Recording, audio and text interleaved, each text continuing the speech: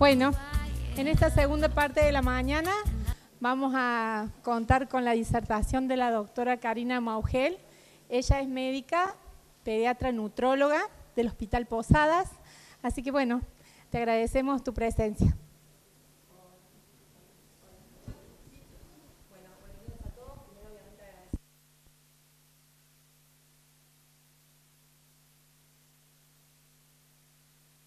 Ahí está.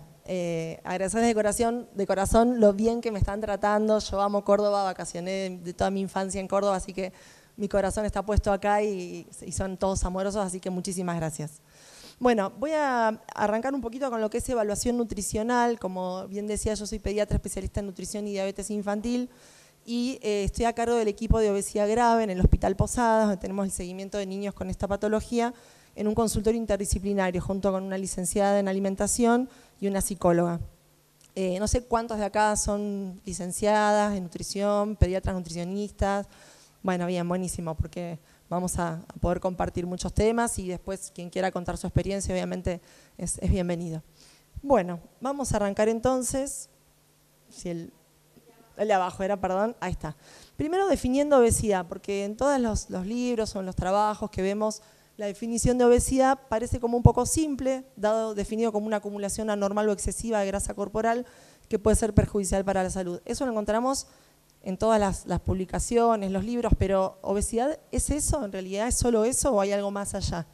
Por otro lado, la enfermedad hepática o la, la estetosis hepática no alcohólica se asocia a múltiples comorbilidades metabólicas, como ya bien se mencionó en el día de hoy, la diposidad visceral, la resistencia a la insulina y la hipertensión. Ahora vamos a ir desarrollando un poquito más. Y en realidad es como que el eje central de todas esas comorbilidades que aparecen, el factor común es la obesidad, sin duda, donde podemos tener patologías diversas, teniendo problemas de crecimiento, pubertad precoz, alteraciones a nivel respiratorio, el famoso síndrome de apnea obstructiva del sueño, enfermedades cardiovasculares, aterosclerosis, hipertrofia de ventrículo, patología metabólica, hígado graso, problemas ortopédicos, dermatológicos, trastornos del sueño, cognitivos, de aprendizaje, memoria, etcétera, y son un sinnúmero. Y en relación a esto, a la obesidad, a todo ese conjunto de comorbilidades, hay algo que no podemos excluir, que es la calidad de vida de estos pacientes, y es algo que se ve afectado y que les podría decir que desde la experiencia casi que es el factor, que es el primero que vemos cuando entra el paciente pediátrico a la consulta y la calidad de vida definida por OMS como la comprensión del sujeto sobre su posición en la vida, en el contexto de la cultura y los sistemas de valores en los que vive, y en relación con sus expectativas, objetivos, normas y preocupaciones. Entonces ahí ya nuestra definición de obesidad es mucho más amplia y compleja. Y esto va de la mano entonces de la calidad de vida de estos pacientes, ¿no es cierto? Y la calidad de vida va a tener diferentes dimensiones y afectaciones que van más allá de lo médico, donde tenemos la dimensión social, es esta interacción del chico en su ámbito, con su familia, con sus amigos, con sus compañeros de trabajo, eh, de escuela, etc. Por otro lado, la percepción que el niño tiene desde su, complejidad física, ya sea a nivel de dolores, de la percepción de su cuerpo, em, de, cómo se siente, de su energía, de su cansancio, todo eso también lo vamos a ir viendo. El impacto psicosocial que tiene esta enfermedad en cuanto a lo a lo psicológico, a la percepción también de esto que decían, va en relación, ¿no es cierto?, lo físico con lo, con lo mental eh, y con la autoestima y el riesgo de, depresión también en esta edad. Y el aspecto cognitivo, aprendizaje y memoria, que también últimamente estamos viendo mucha afectación, mucho trastorno de aprendizaje en niños con obesidad y fundamentalmente en varones. Eh, datos actualizados a la segunda encuesta nacional de nutrición y salud del año 2019 para ver, ir viendo por, grupo etario, en el grupo de niños menores de 5 años, el exceso de peso representa un 13.6% entre sobrepeso y obesidad. Si bien parece bajo, este es un grupo etario donde tenemos que poner el foco, donde muchas veces eh, a los niños en la pediatría en general se subestima ese exceso de peso con que cuando caminen se van a estirar, con que está alimentado a pecho no pasa nada. Y en este grupo etario es donde podemos pesquisar sobre todo las obesidades de inicio temprano, eh, que son severas y que hoy por hoy se está trabajando en una terapéutica de eh, precisión, en lo que son las obesidades monogénicas. O sea que estamos a tiempo en esta población de poderlos detectar y empezar a estudiarlas. Más adelante seguramente van a poder ser tratadas. Con respecto al otro grupo etario, vamos viendo que a medida que avanza la edad, ya el exceso de peso en cuanto a sobrepeso y obesidad es mayor, más del doble, y más aún cuando ya tenemos la edad de 18 años, donde el exceso de peso representa casi el 70% en esta población. Y por otro lado, también tener presente que cuando intervenimos en forma temprana, tenemos alta chance de que esos niños puedan resolver su obesidad en un 75%, mientras que si intervenimos en esta etapa, probablemente más del 75% sigan siendo obesos durante la adultez con todas las complicaciones que esto trae. En cuanto a la evaluación nutricional, como para ya ir al grano, eh, obviamente como todos conocemos, la anamnesis, el examen físico, la antropometría y exámenes complementarios. Vamos a ir desmenuzando un poquito cada una de ellas.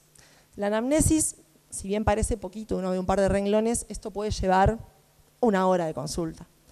Obviamente tengan en cuenta que todo esto que yo les cuento podemos ir desglosándolo en la consulta porque a veces el foco queda centrado en una de esas preguntas, donde por ejemplo surge violencia familiar o situación de abuso, o el, eje fundamental es el bullying. Entonces es como que todo el resto queda en un tercer escalón y a veces nos miramos con la psicóloga y la licenciada y decimos, esto fue una terapia más que una consulta médica, pero si esa es la importancia que el paciente requiere en ese momento, hay que dársela. ¿sí? En cuanto al motivo de consulta, es súper importante preguntarle, más, más allá de, esa frase motivo de consulta que uno veía en la historia clínica de residente primer año, es preguntarle, ¿por qué venís? ¿O por qué vienen? Porque esto es la diada madre-hijo o, grupo familiar. ¿Alguien los derivó? ¿Sacaron el turno ustedes? Muchas veces no saben por qué vienen. Y ahí ya arrancamos mal, porque no hay una conciencia de la enfermedad. Otras veces dicen, me mandó el patólogo, me mandó la gastro, me mandó el neurólogo, o de la guardia, porque fue a la guardia por X motivo y alguien pesquisó una esteatosis por un dolor abdominal. Esto que hablaban, a veces el dolor abdominal es de otra causa, y en una ecografía que por guardia prácticamente hoy se le hace a todo el mundo, pesca la esteatosis y lo derivan. Pero hay una falta de, comprensión de por qué los están mandando, de, la patología en sí. Em, por otro lado, evaluar, bueno, obviamente antecedentes, esto que charlaban hoy en la mañana, todo lo que tiene que ver con los antecedentes perinatales, con esta mamá, si se cuidó su embarazo, cómo se alimentó. Eh, vuelvo a lo mismo, a veces la, consulta da ese tiempo a preguntarlo, en otros momentos no, lo hacemos más adelante, pero sí tener todo eso presente como en el algoritmo mental de decir, bueno, a ver, si la mamá tuvo una ganancia de peso excesiva en el embarazo, si tuvo complicaciones, ya sea diabetes gestacional, hipertensión, si el bebé nació con bajo peso, alto peso, cuántos días estuvo internado en NEO, digamos, por lo menos para tener un pantallazo, eso ya brinda mucha información respecto a lo que tiene que ver con programming, programación fetal, que después lo vamos a ver, pero es, uno ahí entiende, ¿no? Como eh, retrospectivamente uno ve al chico beso y cuando preguntas todo esto decís tal cual es lo que, es lo que leí hace muchos años y eso sigue pasando. Eh, interrogar sobre la lactancia materna, factor protector, ya todos lo conocemos, eh, y son pocos los chicos que llegan a los seis meses de vida con lactancia materna exclusiva. Eh, estamos en una era de la facilidad, de la rapidez, de la inmediatez y entonces, bueno, es trabajoso dar el pecho. Yo tengo dos hijos y le decía, oiga, no, era, me cambió la vida y la visión eh, cuando yo le daba a una mamá indicaciones de dar el pecho y no tenía hijos, a cuando los tuve. Dije, wow, esto es difícil en serio. No es tan fácil como ponerlo al pecho y dale. Implica todo un trabajo y un aprendizaje que es difícil eh, de lograr. Entonces, bueno, también entender a esa persona, pero trabajarlo fuerte. En cuanto a antecedentes familiares, lo mismo. Cuando uno pregunta, eh, ¿hay alguien en la familia con alguna...? Si preguntamos antecedentes familiares, la respuesta es no, porque ni siquiera cuesta mucho entender qué es el antecedente familiar. Entonces ya después vamos preguntando uno por uno. Obesidad, no, y, y nosotros vemos, eh, digamos, que la obesidad está presente y los papás la desconocen.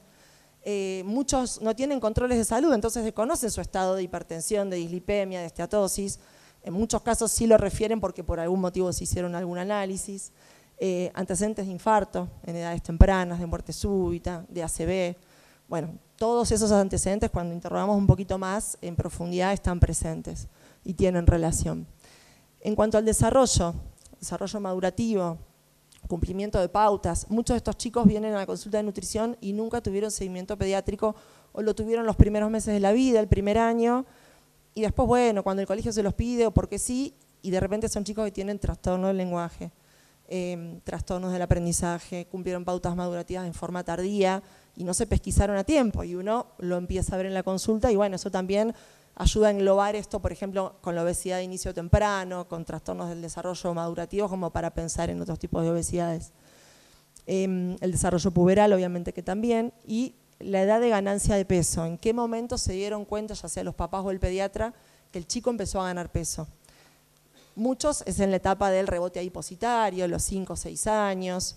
Muchos fueron pospandemia, o sea, ahora a, esa curva que, veníamos haciendo del cachapa acelerado en los primeros años, del rebote adipositario y la adolescencia, tenemos que también mencionar la pandemia porque es algo que muchos refieren. Eh, y también el inicio precoz, esto de la edad temprana, antes de los cinco años. Eh, hay, muchos que nos refieren ya a los dos, tres meses, eh, era, era, muy gordito y siguió siendo muy gordito toda su vida. Bueno, eso es una alerta que, que tenemos que indagar un poquito más. En cuanto a aspectos psicológicos o factores desencadenantes, porque digamos, no es gratuito que un niño tenga obesidad. no es que come porque sí o porque quiere. En algunos casos puntuales, como las obesidades monogénicas, está la hiperfagia desencadenada y toda la alteración del eje hambre-saciedad, pero no es en la mayoría, eso representa la minoría. Entonces, interrogar, bueno, ¿qué pasó? Bueno, la pandemia, volvemos a caer en eso, fue uno, estrés, eh, fallecimientos, mudanzas, problemas, digamos, relaciones interfamiliares, maltrato, abuso, bueno, todo eso muchas veces surge, a veces no en la primera consulta, a veces en meses, hasta que el chico logra conectar y, poder soltar y contar. Su historia alimentaria, bueno, esto, si, si digamos, se alimentó lactancia materna, si tomó leche de fórmula, en qué momento se incorporaron los semisólidos, quién indicó esa incorporación de semisólidos. Muchas veces les empiezan a dar porque sí o lo que ven o lo que ven en la tele, que es lo más preocupante, donde ahí el exceso de azúcares está desde la primera etapa, donde vemos nenes que apenas caminan tomando de la botellita gaseosa o en la mamadera gaseosa jugos, donde el jugo de cajita parece ser lo mejor que ven, casi que nos infartamos cuando los vemos, eh, interrogar mucho eso. ¿Cómo es la alimentación actual? Y en la alimentación actual va casi que de la mano con el día de vida. Cuando les preguntamos, bueno, cuando les preguntamos qué desayunás, eh, les cuesta, o muchos no desayunan, es como el común denominador. Pero decimos, bueno, a ver, contame un día tuyo, ¿a qué hora te levantás, qué haces? Y ahí ya unimos dos cosas, unimos las rutinas. Ahí nos cuentan si estaban solos, muchos chicos se levantan y están solos, los papás se fueron a trabajar, muchos chicos están solos la mayor parte del día, y entonces ahí quién cocina, qué agarran para comer, a veces no desayunan, a veces no almuerzan o almuerzan en el colegio, qué les dan en el colegio. Eh, manejan plata, llevan plata y compran en el colegio y capaz no almorzaron y terminan comiéndose un pancho en el colegio, un sándwich. Entonces, ya todo eso implica después tener que armar toda una estrategia para ver qué empezamos a cambiar o con qué, o sea, todo en un día claramente no se puede, si, si, no van a huir despavoridos y es un paciente que se pierde, pero tal vez ir trabajando de a poquito y viendo lo que se pueda en ese momento. Después también lo que tiene que ver con la actividad física. Si, hace, hacen actividad física en la escuela, muchas veces se suspenden, los profesores faltan, si llueve no pueden hacer.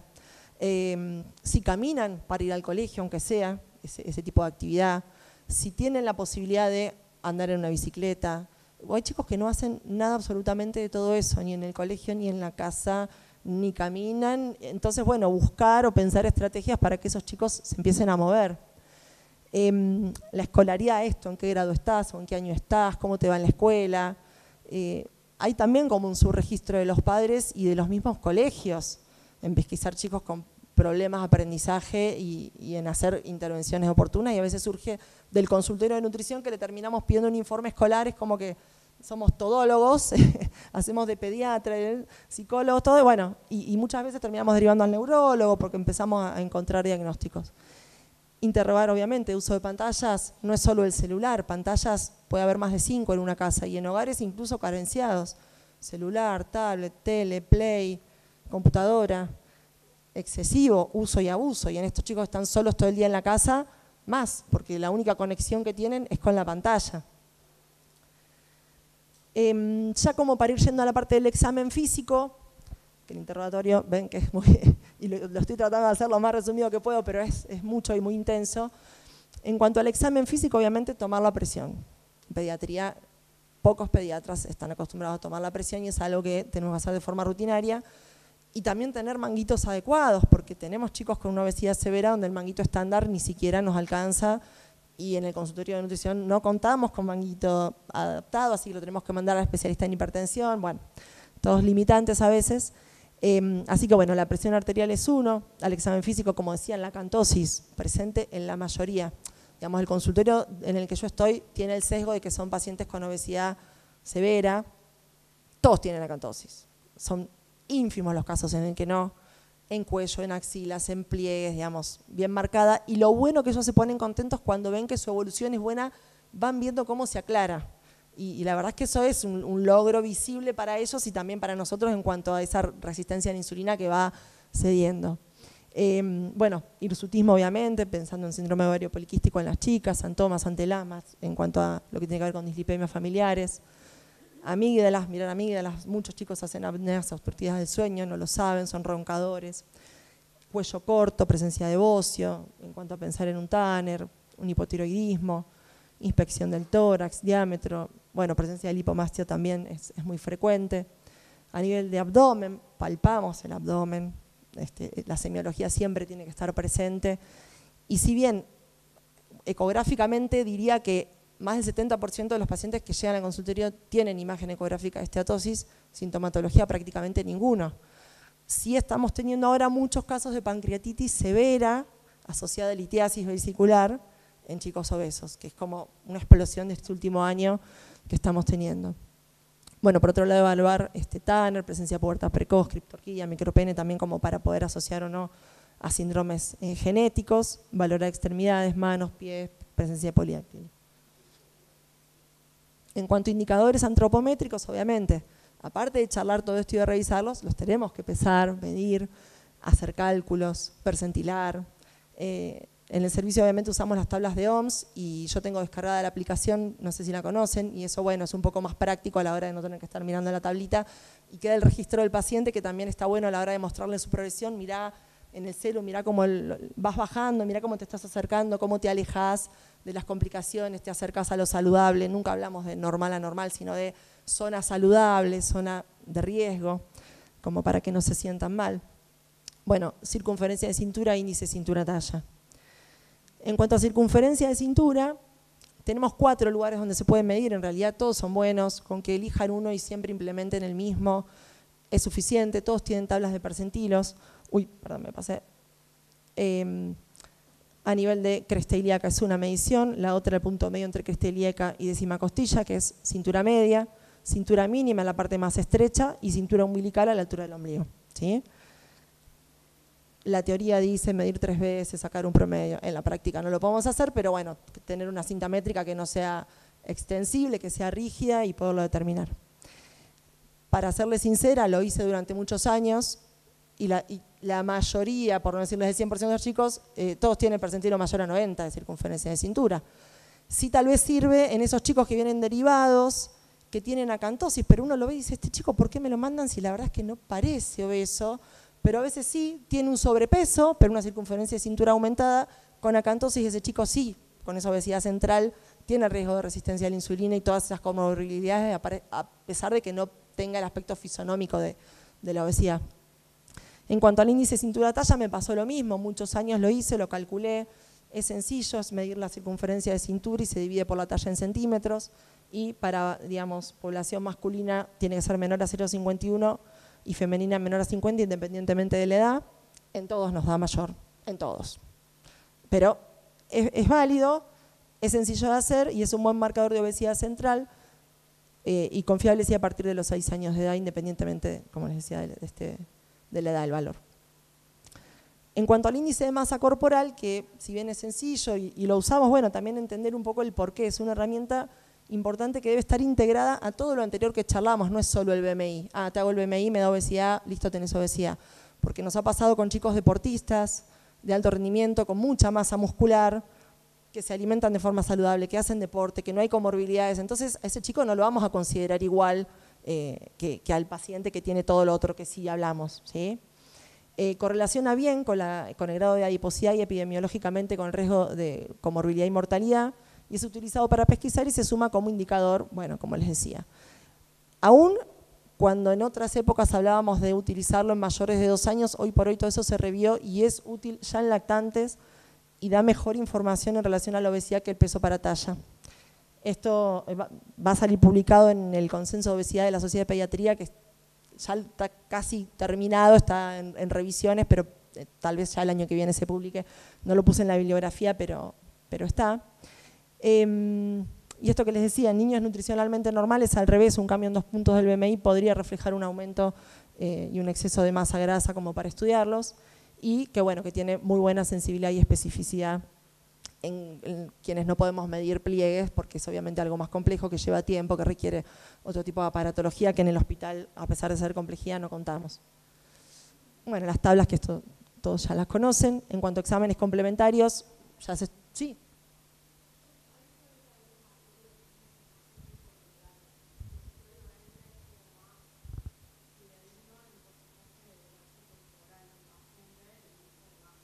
Claro.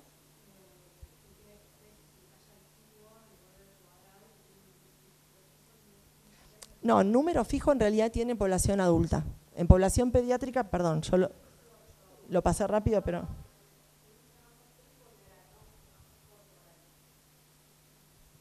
Triponderal, no. no sinceramente no lo conozco. Bueno, después, después me lo contás y lo charlamos, obviamente. ¿Y eso que para población pediátrica? Ajá.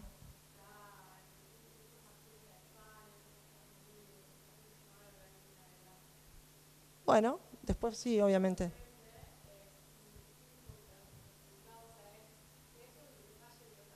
Talla, claro, tres.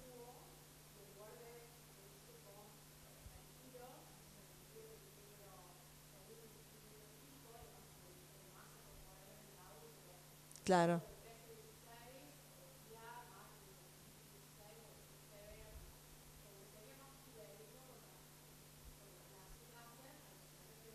Correlacionando mejor.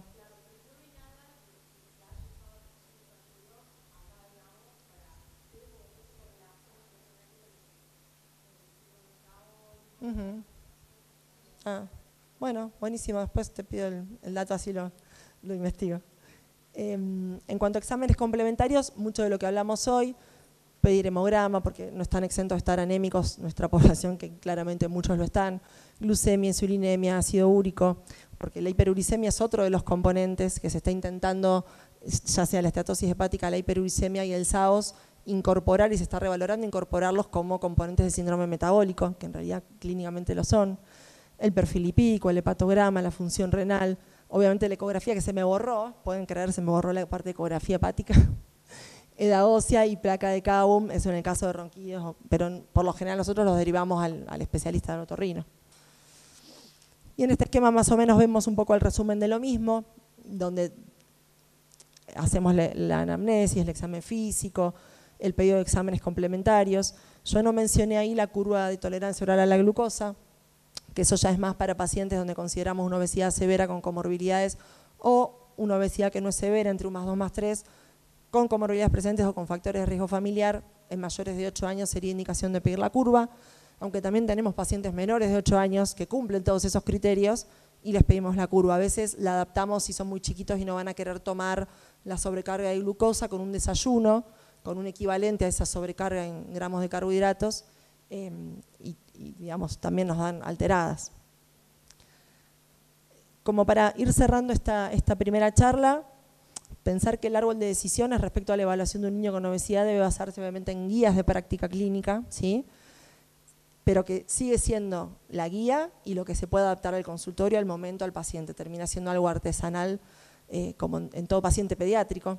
Esto que les decía en la primera consulta, valorar y priorizar aquellos puntos que impliquen mayor riesgo o importancia. A veces es la derivación en pacientes que, por ejemplo, han presentado intentos de suicidio, eh, o pacientes que impresionan patología psiquiátrica, eh, priorizar y derivar oportunamente y poner el foco en eso. Tener presente que un niño o adolescente con obesidad implica mucho más que el acúmulo excesivo de grasa y requiere un enfoque amplio en su evaluación. Y que un niño con obesidad, más las comorbilidades asociadas, más el riesgo psicológico y social, requieren la atención de un equipo interdisciplinario y tal vez esos pacientes sí son los que tienen que ser derivados eh, a, un centro de mayor complejidad. Por ahora terminamos. Muchas gracias.